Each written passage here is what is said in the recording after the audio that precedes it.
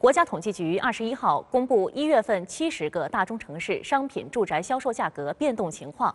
数据显示一月份山东的青岛烟台济宁三市新房价格环比持续下跌济南比上月环比上涨百分之零点一二手房价格济南青岛烟台济宁四市环比全部下跌。